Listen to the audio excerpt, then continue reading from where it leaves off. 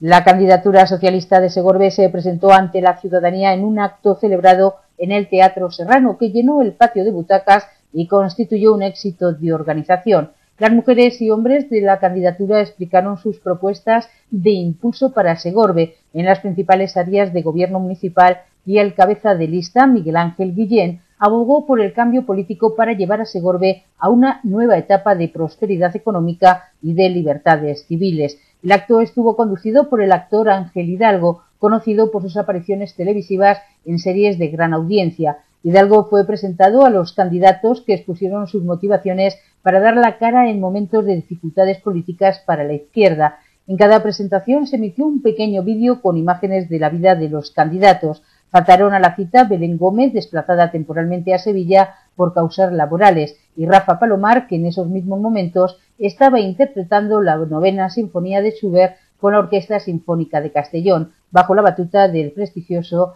Henry Adams. Guillén trazó las líneas del programa electoral que presenta la candidatura, un programa enfocado a la recuperación económica en el que se da prioridad a la potenciación de la industria local, con la puesta en marcha de un parque logístico en el polígono de La Esperanza, un plan municipal de empleo, el centro comercial abierto, el Festival Internacional de Pop Rock y la Ciudad de los Mayores, entre otras propuestas que serán explicadas de forma pormenorizada en un acto público el miércoles en el casino.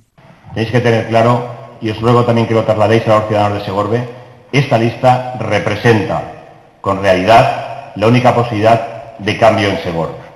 El resto seguramente será fuego de artificio y si a enriquecer el juego democrático como se dice. Pero realmente el objetivo de modificar, de cambiar las cosas y que haya una alternancia en Segorbe lo representa esta lista. Yo voy a decir más, aunque solo sea por higiene democrática, por higiene democrática, después de 16 años de gobierno absoluto, que tener en cuenta cuatro años más serían 20, que es la mitad de lo que estuvo el dictador Franco en el gobierno, solo por higiene democrática, este es ese golpe que todos queremos, se merece ya que exista un cambio en el ayuntamiento.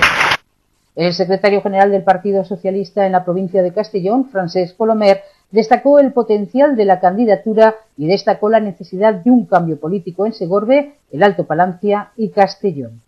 Y por eso necesitamos muchos alcaldes socialistas en esta provincia, para desde la Diputación exportar estas buenas prácticas y que los ordenadores portátiles sean una realidad en los centros educativos y que todo lo que hemos puesto en marcha para la igualdad, para la equidad, fórmulas para buscar empleo, por la sostenibilidad, por la defensa de los intereses generales, sea patrimonio de todos y cada uno de los pueblos de la provincia de Castellón, porque otra provincia es posible. Por eso es un tiempo de ideas y es un tiempo de coraje, y es un tiempo de valientes y de gente que se significa, que no se acurruca, que no se rinde, que no capitula, que da un paso al frente y dice, sí, me siento orgulloso de participar en la vida pública.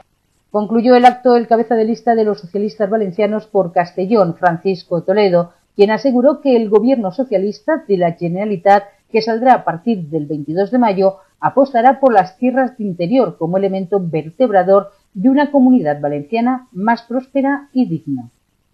Si gobernamos, que lo haremos, esta comunidad valenciana va a ser algo radicalmente distinto de lo que es. Vamos a recuperar los pilares del bienestar. Vamos a evitar los despilfarros.